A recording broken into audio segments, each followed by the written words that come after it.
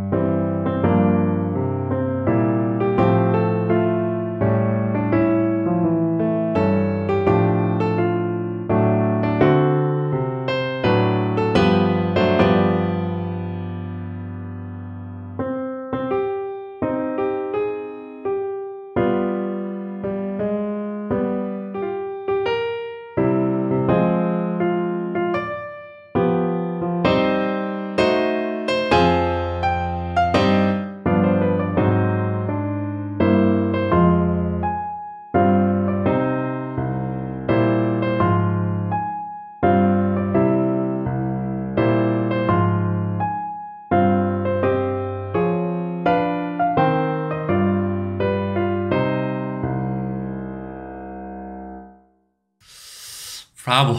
일단 특별히 거슬리는 거 없습니다. 굉장히. 그게 더 억울해. 뭔가 거슬리는 게 없어. 일단 한번 조금씩 뜯어보면은 대위적인 요소가 있다는 거.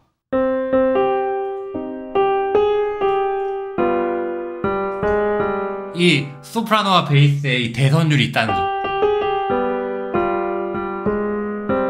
조금 아쉬운 건 도도가 사실 화음상 그렇게 좋진 않거든요. 차라리 뭐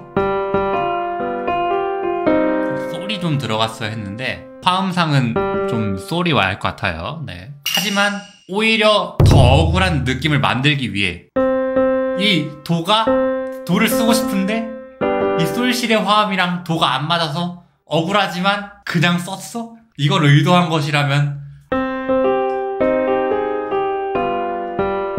여기서 도를 쓰고 싶은데 화음이 안 맞아. 아 억울해. 하지만 어쩔 수 없어. 그냥 써야 돼. 왜? 억울하니까.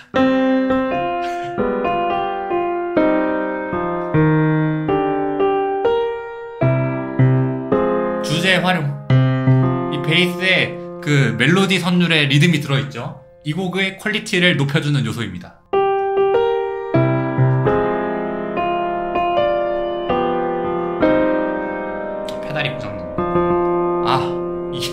페달마저 억울하게 지금 페달 고장나가지고 밟지도 않았는데 페달 밟히고 있습니다. 페달 안 돌아오는데요? 아, 억울해. 원래 한 번도 이런 적이 없거든요. 지금 피아노도 억울해가지고 파업 선언했습니다. 오! 성공했다. 아, 부활했습니다. 주제의 활용. 이런 게 있으면요, 곡이 더 진지해지고요, 심각해집니다. 이런 대위적인 요소들이 있기 때문에 이 준내 억울한 템포를 좀 더 억울한 느낌이 들 수 있게 음악과 작곡가의 의도가 완벽하게 부합한다 라고 말씀드릴 수 있을 것 같아요. 그리고 이 부분이 끝나면 희망차게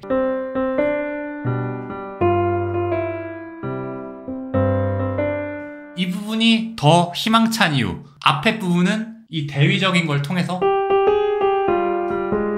더 심각하게 음악을 만든 반면 이 희망찬 부분은 어떻게 하고 있죠? 왼손을 반주로 바꿔버립니다.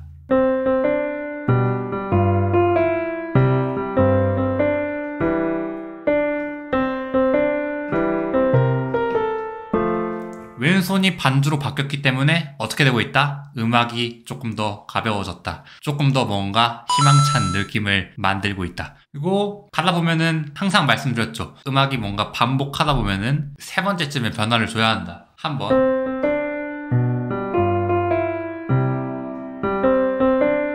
두 번. 세 번째가 여기. 강박에 딱 화음 들어오죠. 그 다음 여기서 이 아포자투라 들 걸리는 이 감성적인 화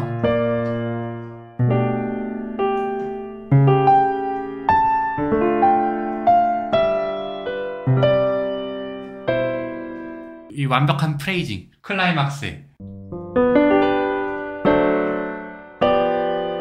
클라이막스를 만든 다음 다시 더 억울해지기 위해. 이것도 뭔가 억울한 게 여기까지는 이 앞에 이